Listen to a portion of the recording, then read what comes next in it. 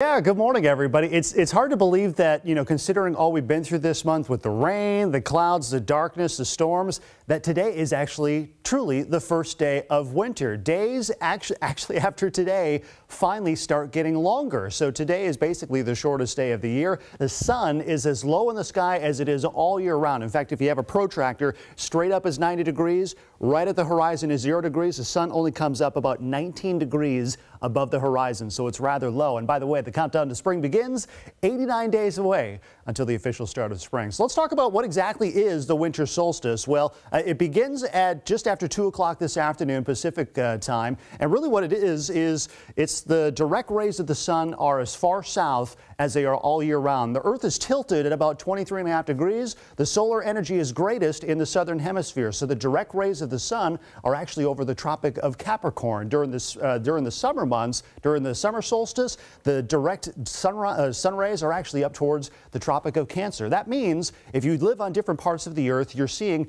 different lengths of daylight depending on uh, how far away from the equator you are. So if you're up in the most northern U.S. Uh, city, Utqiagvik, Alaska, you're basically in complete darkness. Anchorage, Alaska, their day length is only about five and a half hours. Here in Seattle, about eight and a half hours of daylight. Honolulu, because they're close to the equator, well, about 11 hours of daylight. And if you are on Antarctica right now, basically sun up all day long with 24 hours of day.